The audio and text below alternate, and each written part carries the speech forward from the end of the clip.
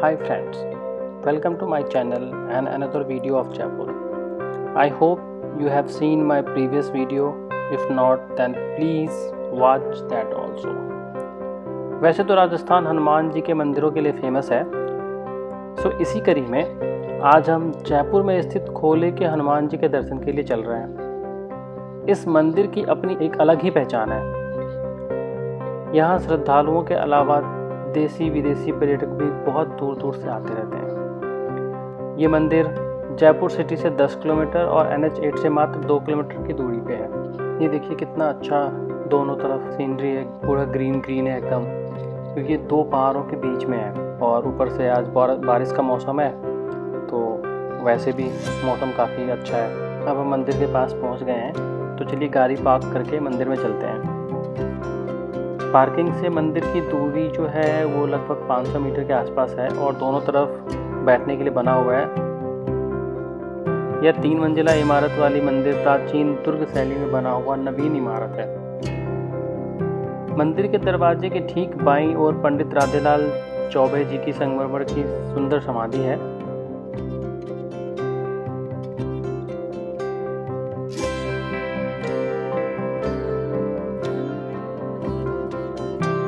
ये मंदिर का मुख्य दरवाज़ा जिससे हम अंदर जाएँगे।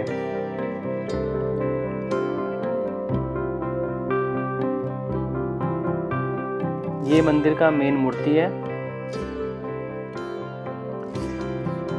मंदिर में वैसे तो हमेशा श्रद्धालुओं की बड़ी भीड़ रहती है, लेकिन मंगलवार और शनिवार को यहाँ भक्तों का सैलाब उमड़ता है।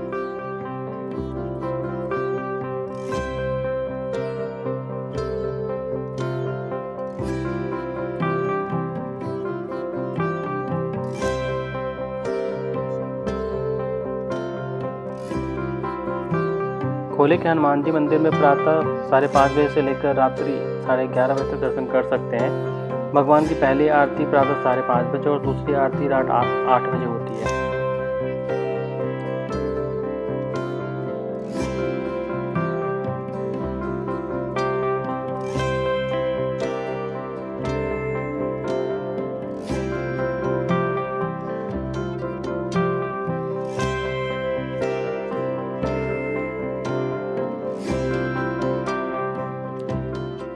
मंदिर के ठीक दाई ओर गणेश जी का प्रतिमा है और हवन स्थल के सामने ठाकुर जी का प्रतिमा है, जैसा कि आप देख रहे हैं। और ठीक इसके ऊपर माता गायत्री का मंदिर है।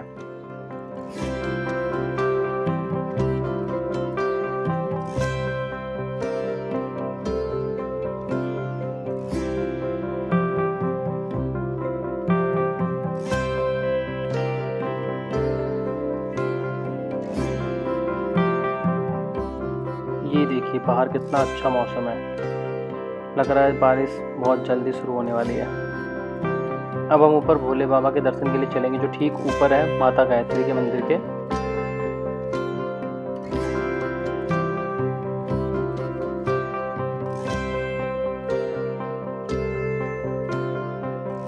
इस मंदिर में सभी बारह ज्योतिर्लिंग बनी हुई है।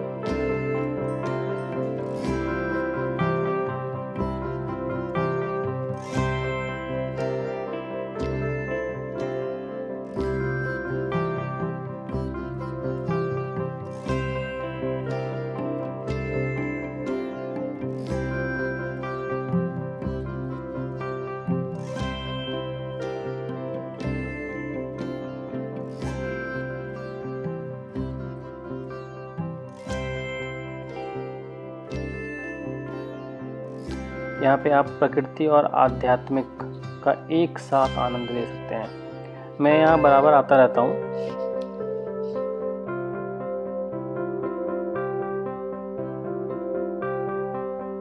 अब हम भगवान श्री राम जी के मंदिर में चलते हैं, जो हनुमान जी के ठीक ऊपर वाले मंजिल पे है। यहाँ पे राम दरबार के एक तरफ़ विश्वामित्र और दूसरे तरफ़ वाल्मीकि जी विराजमान है।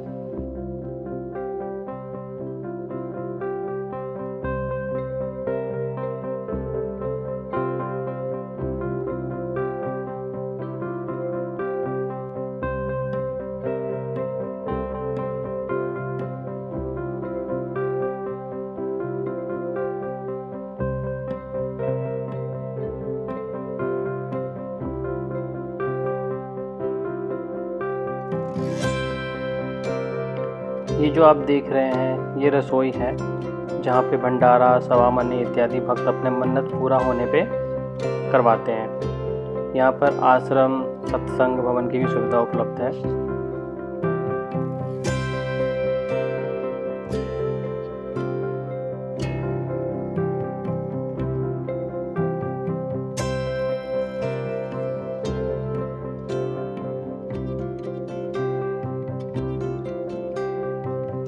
इस मंदिर की स्थापना का श्रेय पंडित राधेलाल चौबे जी को जाता है।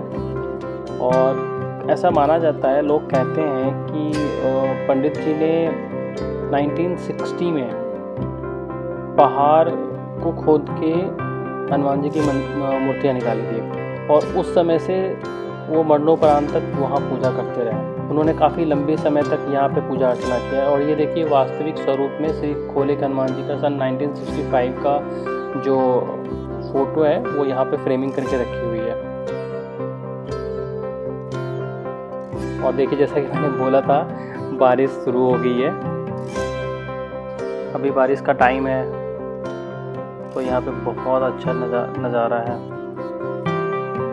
तो दोस्तों, अगर आपको ये यात्रा अच्छी लगी हो तो प्लीज़ मेरी चैनल को सब्सक्राइब करें और बेल आइकन को भी प्रेस प्रेस करें, जिससे आपको हमारी अपकमिंग वीडियो का अपडेट मिल जाए। धन्यवाद। Thank you.